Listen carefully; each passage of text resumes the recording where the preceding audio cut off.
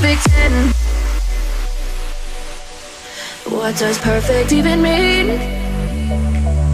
Is there even such a thing? Oh, can we switch up all the rules and imagine a utopia?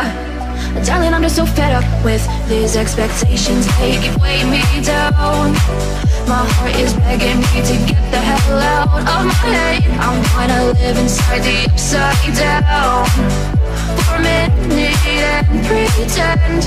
Honey, I'm a perfect ten, whoa, whoa. Honey, I'm a perfect ten, whoa, whoa. And if I say it enough, it gets ingrained in my head And I start to see. Honey, I'm a perfect ten.